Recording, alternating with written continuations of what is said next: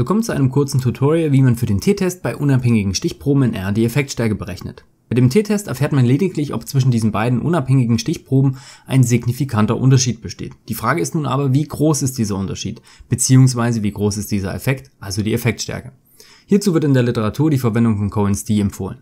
Wie man das berechnet, zeige ich jetzt in diesem Video. Ich habe bereits Daten eingelesen, wenn ich weiß, wie das geht, jetzt rechts oben ein Link dazu in den Infokarten und ich habe auch gleichzeitig nochmal das R-Skript aufgerufen, das ich für den T-Test bei unabhängigen Stichproben verwendet habe. Dazu jetzt auch rechts oben ein Link in den Infokarten für die ausführliche Erklärung, was ich hier gemacht habe.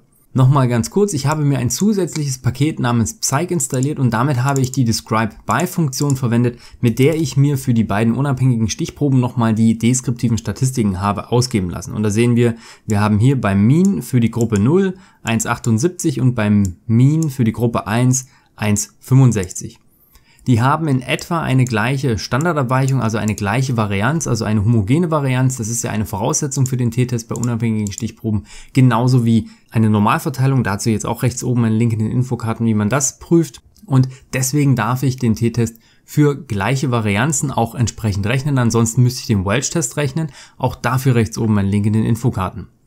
Und für diesen T-Test bei gleichen Varianzen und unabhängigen Stichproben möchte ich jetzt die Effektstärke berechnen. Die entscheidende Zeile für den T-Test war natürlich diese. Das heißt, wir haben hier einfach zweiseitig gerechnet, ob es einen signifikanten Unterschied zwischen den Geschlechtern gibt hinsichtlich der Größe. Also Größe war meine Testvariable und Geschlecht war meine Gruppenvariable. Also ich wollte wissen, ob über die Geschlechter hinweg die Größe signifikant unterschiedlich ist.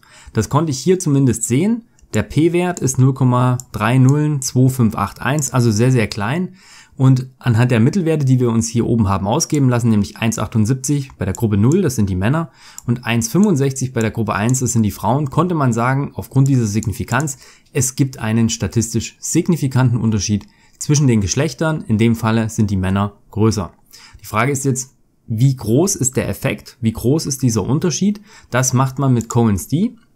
Cohen's D gibt es standardmäßig in R nicht. Es gibt es in verschiedenen Paketen. Eines, was ich immer ganz gerne verwendet habe, ist das sogenannte LSR-Paket. Das LSR-Paket habe ich bereits installiert. Wer das nicht installiert hat, der geht hier oben über diese Install Packages Funktion und statt Psych wird natürlich hier LSR eingesetzt, das ausgeführt und dann nochmal geladen. Also einfach die Library-Funktion, dann sehen wir hier auch in der Package-Sektion bei RStudio, dass LSR geladen ist und mit LSR das heißt Learning Statistics with R, ist Cohen's D implementiert.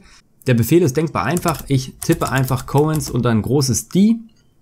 Und jetzt muss ich lediglich nochmal das, was ich hier oben im Test ohnehin gerechnet habe, also quasi ich prüfe die Größe hinsichtlich des Geschlechtes auf Unterschied, hier einsetzen.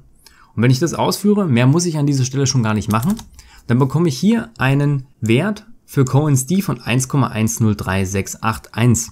Das ist ein Wert, den man jetzt noch einordnen muss. Cohen hat in seinem 1992 veröffentlichten Papier A Power Primer oder aber auch in seinem Buch von 1988, wo es um Statistical Power Analysis ging, verschiedene Richtwerte hervorgebracht und diese Richtwerte sehen wir hier. Wir sind beim Independent Means Test, also D ist hier das, was wir jetzt gerade uns haben ausrechnen lassen. Das lässt sich jetzt etwas schwer markieren, aber ich glaube in der allerersten Zeile, das können wir alle nachvollziehen. Ein kleiner Effekt ab 0,2, ein mittlerer Effekt ab 0,5 und ein großer Effekt ab 0,8.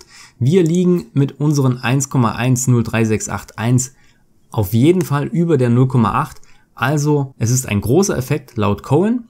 Achtung aber an dieser Stelle, Jegliche Forschungsdisziplinen haben unterschiedliche Ansätze, wie groß ein Effekt jetzt tatsächlich ist. Also da müsst ihr unbedingt nochmal schauen, ob in eurer Forschungsdisziplin auch 0,8, 0,5 und 0,2 die Grenzen sind für große, mittlere und kleine Effekte.